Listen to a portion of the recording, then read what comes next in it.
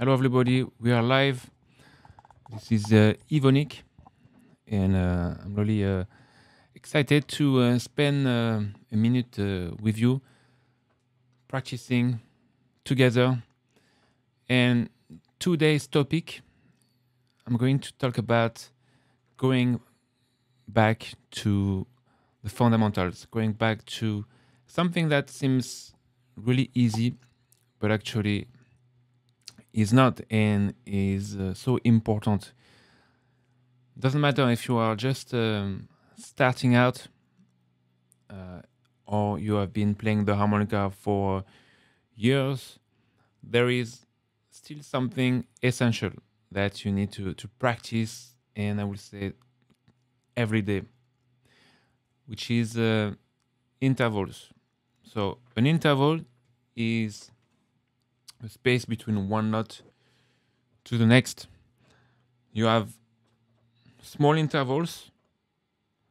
The smallest is the half step from C to C sharp, for example. Mm, mm. One blow to one blow with the slide in. Mm. And you have larger intervals, such as um, major uh, major seven. So we want to, to practice these intervals within a key. You can also practice them using the chromatic scale. But today we are going to uh, stay uh, within a major scale. And we will start with the C major scale.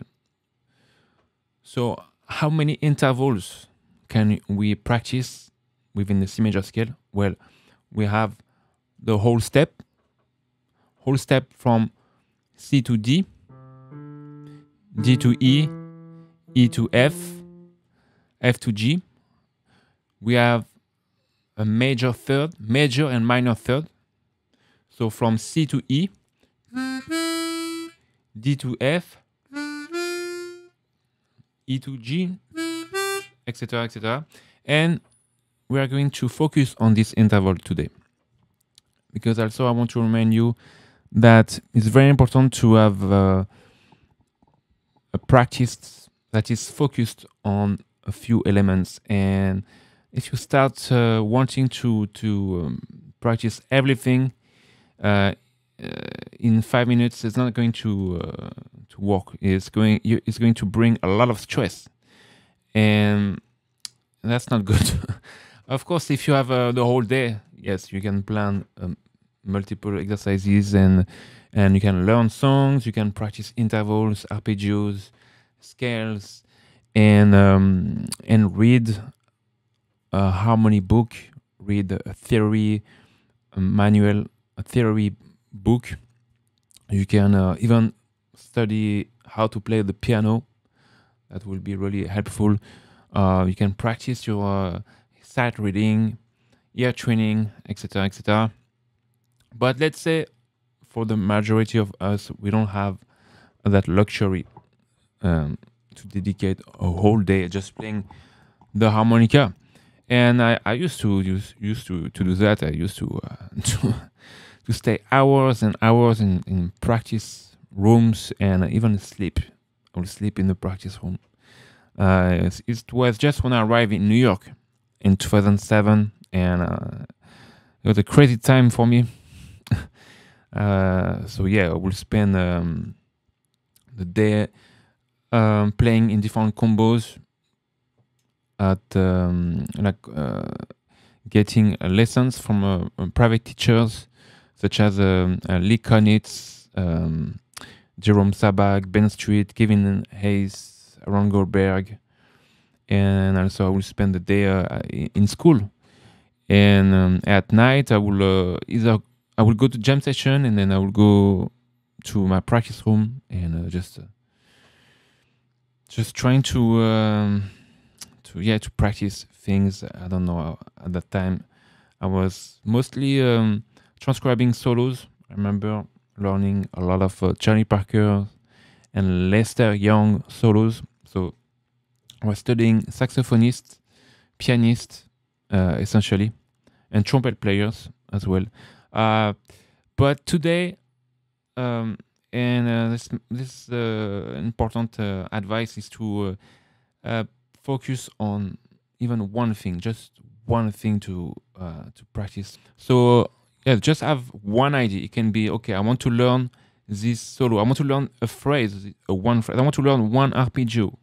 I want to practice one scale. I want to just being better at breathing on the two draw, and that's it. And if you uh, can accomplish that, if at the end of your practice session, it can be five minutes, ten minutes, or more, uh, an hour and but if you get something out of uh, that practice session today and that's that's that's that's, that's great. That's um uh that's what we want. We want to achieve something. So uh, having smaller goals uh, can really be uh, the uh, the answer for that. So yeah, I, I was talking about intervals we have uh, half steps, whole steps, thirds, fourth. So if you are going from D to F, uh, C, I mean C to F and D to G. Fifth.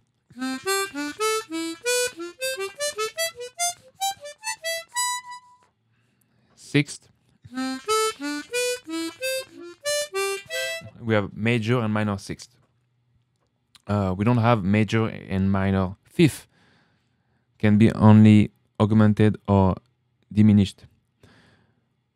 So i think the most important interval to practice is the third major and minor third. So that's what we're going to focus on today. And let's look at this uh, this pdf so i'm going to make it more readable here all right. Excellent. Perfect. So we have the idea to to practice thirds and from just this simple idea it becomes more complicated all of a sudden because we see that we have four ways to practice thirds within the C major scale. So I'm not talking about changing keys, playing all 12 keys. Uh, no, I'm just we're just talking about one key, and we already have four ways to practice, four exercises that we can draw from that uh, practice session. So first, we can look at on the first bar we have one A. Uh, this is one direction, one way to practice this exercise ascending. So start with C.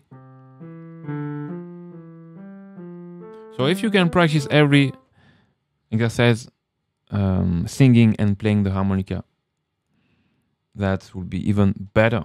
And we can also add the metronome. So you see that with just one idea, we can go so deep and we can practice everything. Ear training by singing or timing or rhythm using the metronome.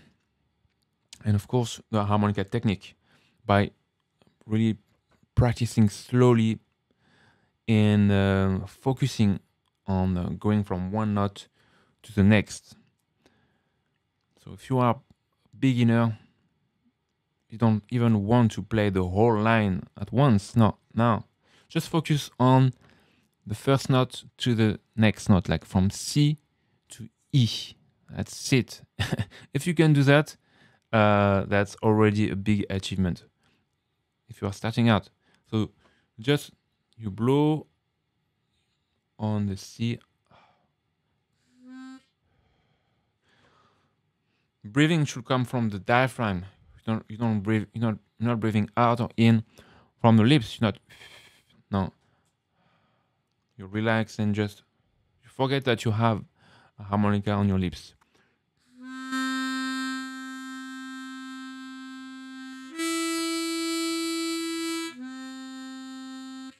So you keep blowing out, and you move slowly your harmonica across your lips.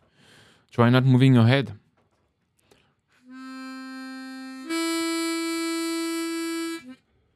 And you open, trying to drop your jaw to leave more space. You want the air to circulate freely. That's the tip if you are a beginner. And uh, also, I've met a lot of people who have been playing the harmonica for years and they just have a, a bad tone.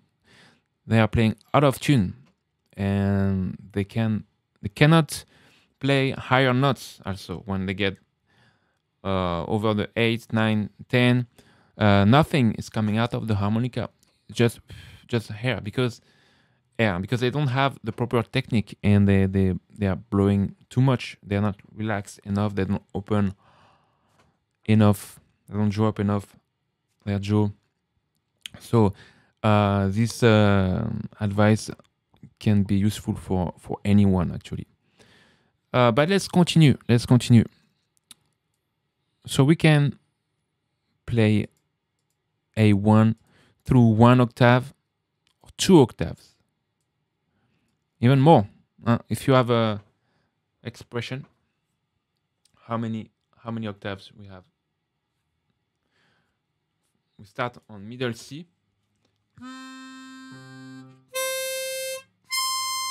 So here we have one three octaves. If you have a 12 hole harmonica chromatic harmonica and four octaves. If you play if you are playing 16 hole. Here i have on my desk the ace Hohner ace and expression. You can see the size. Uh, two uh, great 12 hole with plastic comb. Plastic comb is really what you need.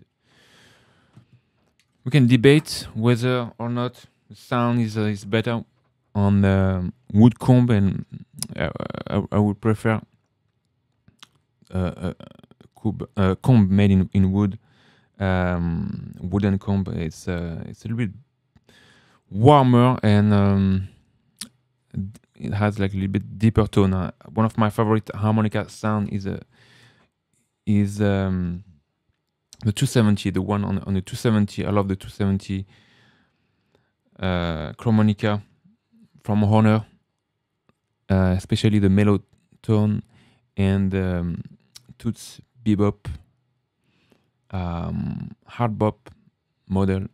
I think they are both uh, discontinued, but they sounded so uh, so good, so magical.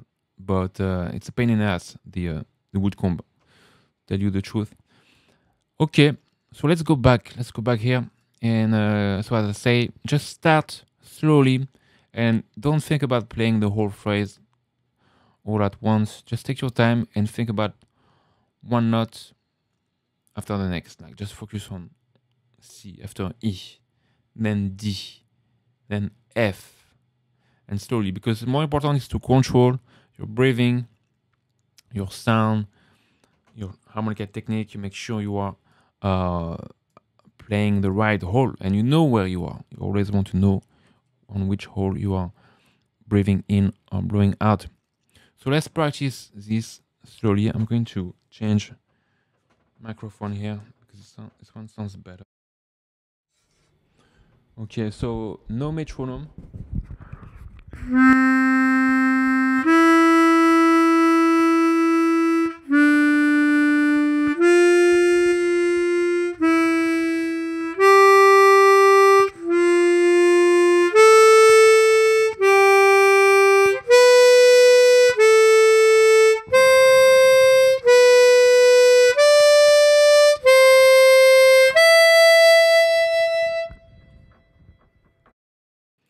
I just stopped at the end of the second bar uh, because I wanted um, the exercise to fit like this to uh, to fit two bars, but of course we can continue.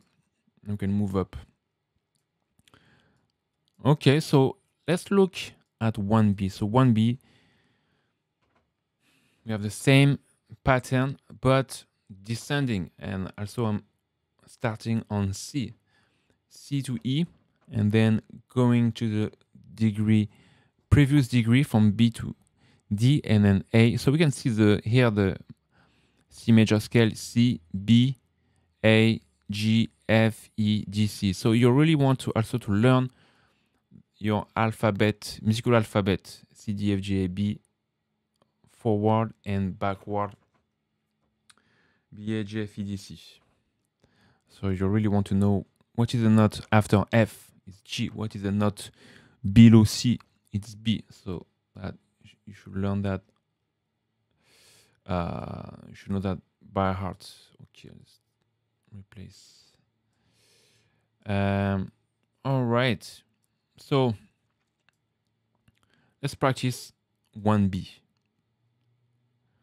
From C, C to E. Nine blow. first, make sure you are on the right hole. Mm, let's see. Mm.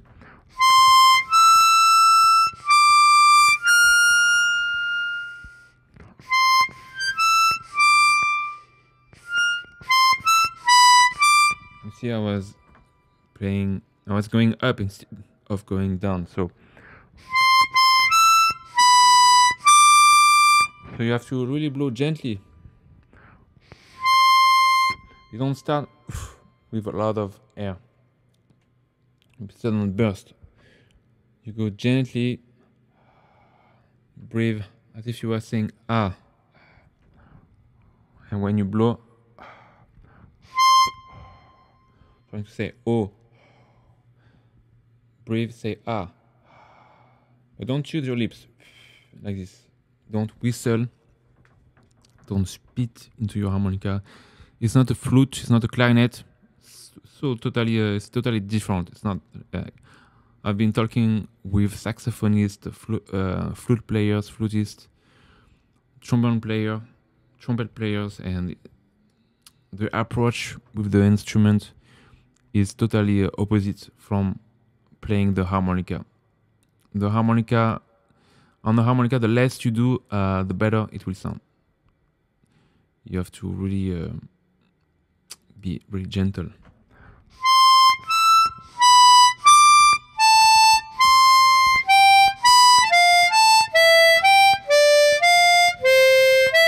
So practice really slow, one note at a time.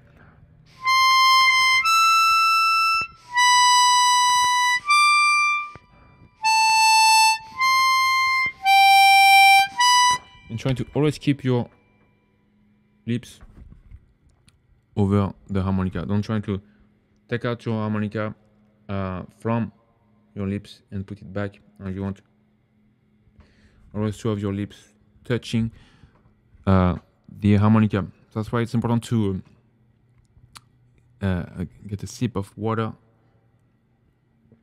here and there. So 1A ascending, 1B descending, and we are already starting on C. Uh, then let's look at 2A. So 2A, we are ascending as well, but this time we are starting on the second note. We're starting on E. On the third, on E, back to C. So this is uh, the pattern is uh, inverted. Oh, I think I have both mic on. So yeah, the pattern is inverted. So we have E to C. Dun, dun, dun, F, D, G, E, A, F.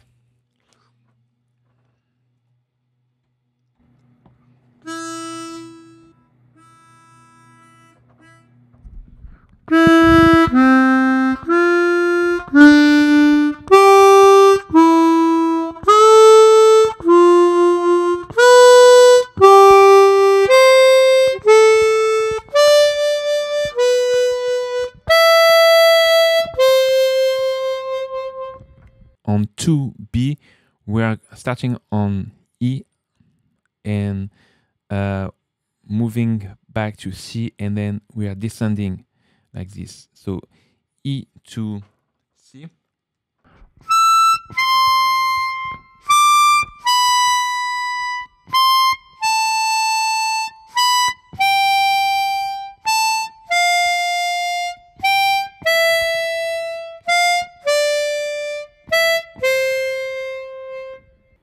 And I just noticed that the last note is missing. It should be C, should be a five, five blue. So here you have your exercise for today. Practicing thirds, ascending, descending, four ways to practice your thirds.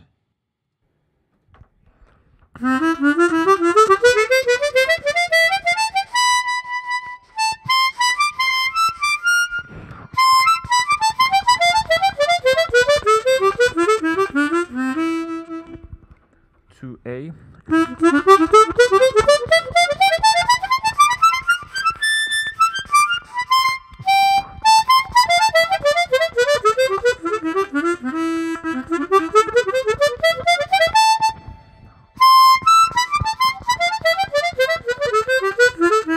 And of course, when you are playing faster, uh, you need to use both your head and the harmonica. You can. Um, sorry for the for the sound. So I was just um, I was talking about using the A section of Girl from Ipanema to uh, improvise. So I'm going to I'm going to uh, improvise over the first eight bars using only third. I'm only I'm going to so I'm going to improvise over the uh, the first eight bars of uh, Ipanema uh, in a key of F major, and I'll be using only interval of thirds, so major and minor thirds within the F major scale when we will be uh, playing over the F major 7 chord. Uh, then I will switch to G the Lydian dominant. Uh, so it's, uh, it's the same uh, scale as the C major scale, but with a sharp 11. And after that, uh, we are going back to F major scale because we have a 2 5. We have a 2 5 1. Uh, we have a 2 5 in, in a key of, of F major. All right. So, of course, after practicing thirds in C major, you want to uh, move to different key. And F major is a logic um, uh, next key to practice because it's the same. Uh, yeah, we, because F major shares so many common notes with C major. The only note that change that changes is the B flat. So we don't have B flat in C major. All right, let's start.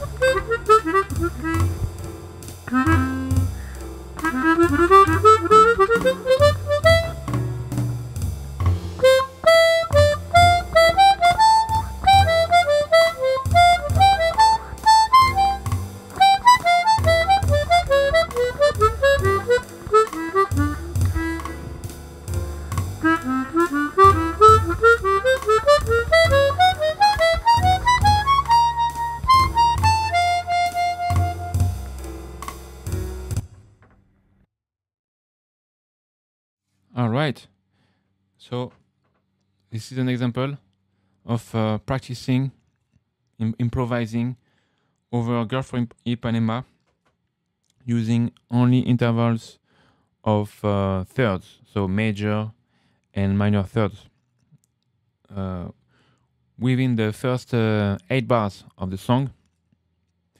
So that's something also that I like to do when I'm, I'm practicing. Uh, I like to practice something really uh, concrete, like learning uh, a new scale, practicing intervals, arpeggios, and then I like to um, dedicate some time to just uh, improvisation. So it could be totally free improvisation.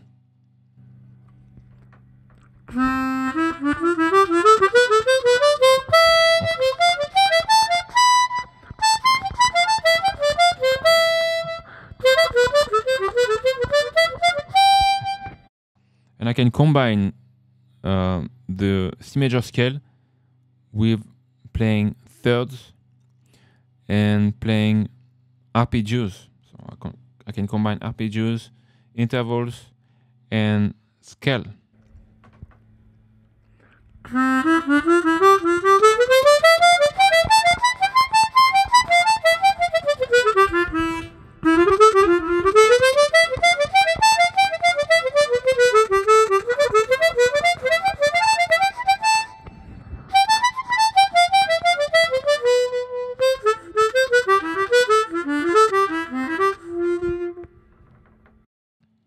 etc etc and i can just go on and on um, practicing thirds uh, arpeggios improvising using uh, these different uh, elements. So that's it for today. Uh, i will um, put a link where you can uh, get this pdf inside my harmonica studio. Thank you for watching and um, uh, look back to uh, you can rewatch this uh, uh, live stream and i will add the date for the next live stream coming soon probably next week. Thank you. Thank you very much. À bientôt. See you soon